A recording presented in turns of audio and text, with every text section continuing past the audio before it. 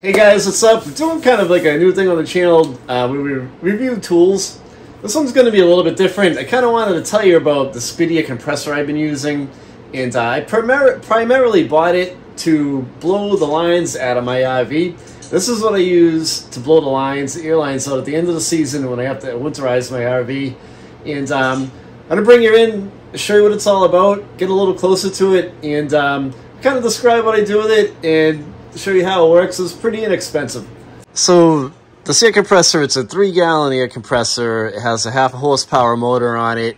Um, it came, I believe it came with this, yeah, it came with this hose on it. I've had it for a couple of years. And um, it has a regulator right here so you can adjust like the pressure coming out. And that's what I do when I'm blowing out the lines in my RV. So when I'm doing that, um, I've got this chuck on the end of it for inflating tires. But on my RV, what I have is I have like a little adapter that goes into the water inlet and it screws in. Uh, I think I got it on, on Amazon and it has a little valve like a bicycle tire valve or a tire valve sticking out. I can press this onto it and um, I bring the, the PSI down to, I think it's pretty low. It's like 25 or so, just enough to blow the lines out. And uh, you don't have to worry about bursting a line with the air, but it works great for that. Uh, this is a good air compressor for like inflating tires, like uh, pool floats and stuff like that. It's kind of like a light duty compressor, obviously.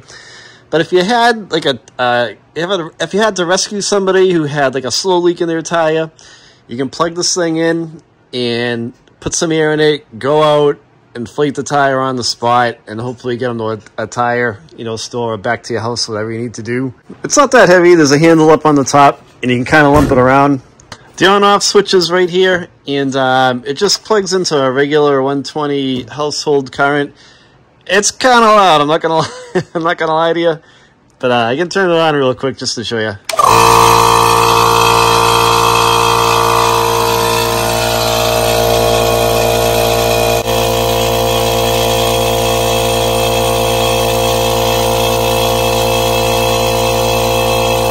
It's starting to build up some pressure. It takes about a minute. It's a little loud, but after probably like 40 to 60 seconds of being plugged in, it starts to build some pressure up, as you can see on the dial. But if you needed like a little compressor just to bang around with, I mean, I, I don't use this one too much.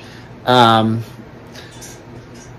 but for what I use it for, it seems to work well. And, um, you know, I, I usually just kind of use it to blow out the lines of my trailers, like I said. But just kind of wanted to show you what it looked like and how it functioned and the and you know how loud it was and stuff like that.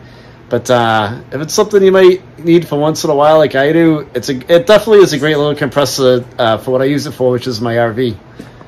If you guys have any questions, um, if you want to drop a comment, ask me about it. I don't mind replying back. And uh, even if it's just a, hey, you know, how is the compressor holding up? Do you still have it and stuff like that, just to pick my brain.